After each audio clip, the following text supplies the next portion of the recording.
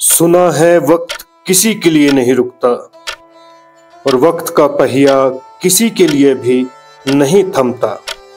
लेकिन आज हम पवित्र शास्त्र बाइबल में से एक ऐसी घटना को देखेंगे, जहाँ यहोवा परमेश्वर ने वक्त को थाम दिया। वो भी पूरे चार पहर तक, अर्थात बारह घंटे।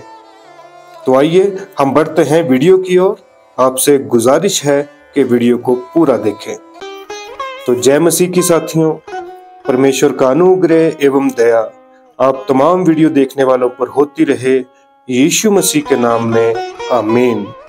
साथियों, हमारा आज का विषय है, जब यहोवा परमेश्वर ने वक्त को रोक दिया था।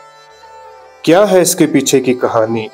आइए हम वीडियो के माध्यम से देखते हैं। तो साथियों, ये कहानी उस समय की है, जब यहोशू इस पृथ्वी पर था और एमोरियों समेत यरूशलेम, हेब्रोन, यमूर्त, लाकीश और एग्लोन के पाँच एमोरी राजाओं ने अपनी सारी सेना को इकट्ठा किया और चढ़ाई कर दी और गिबोन के सामने डेरे डालकर उनसे युद्ध छेड़ दिया। ये यहोशू की किताब अध्याय दस और उसके पाँच वचन में वर्णित है। और जब ये युद्ध छिड़ गया तो उस समय यहोशू गिलगाल नामक जगह में था। तब गिबोन के निवासियों ने यहोशू से कहा कि अपना हाथ हम पर से मत हटा, क्योंकि एमोरियों ने हमारे विरुद्ध हाथ उठाया है। हमें बचा ले, हमारी सहायता करें।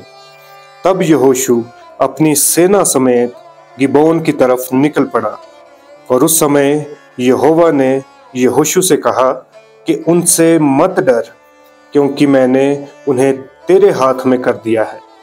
उनमें से एक पुरुष भी तेरे सामने नहीं टिक पाएगा। उसके बाद यहोशू अपने शूरवीरों समेत उन पर टूट पड़ा। ये पाँच एमोरी राजाओं के साथ यहोशू का युद्ध था। और फिर इसराइलियों ने गिबोन के पास इनका बड़ा संहार किया। और जब वे भागने लगे तो उनका पीछा करके अजेका और मकेदा तक उनको मारते चले गए। और जब वे इसराइलियों के सामने से भागकर बेथरोन की उतराई पर आए, तब अजेका पहुँचने तक यहोवा ने आकाश से बड़े बड़े पत्थर उन पर बरसाए और वे मारे गए। और यहोशू अध्याय दस और उसके ग्यारह वचन के अनुसार यहाँ तक लिखा है कि जितना संहार यहोशू और उसके साथियों ने किया था, उससे भी अधिक ओलों से मारे हुए लोग थे। अर्थात, परमेश्वर स्वयं साथ साथ लड़ रहा था और इज़राइलियों को बल दे रहा था। यहोशु अध्याय दस और बारह के अनुसार जहाँ लिखा है, जिस दिन यहोवा ने एमोरियों को इसराइलियों के वश में कर दिया, उस दिन यहोशु ने यहोवा से इसराइलियों के देखते हुए इस प्रकार कहा कि, हे सूर्य, तू गिबोन पर और हे चंद्रमा, तू अयालोन की तराई के ऊपर थमा रह और सूर्य उस समय तक थमा रहा और चंद्रमा उस समय तक ठहरा रहा, जब तक कि उस जाति के लोगों ने अपने शत्रुओं से बदला न ले लिया। क्या ये बात याशार नामक पुस्तक में नहीं लिखी है कि सूर्य आकाश मंडल के बीचों बीच ठहरा रहा और लगभग चार पहर तक ना डूबा।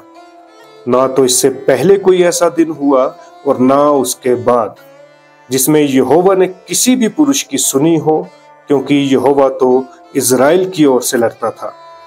तब यहोशू सारे इज़राइलियों समेत गिलगाल की छावनी को लौट गया, यानी कि ये शाम का वे वक्त था, या ये शाम का वे समय था, जब सूर्य और चाँद एक साथ होते हैं।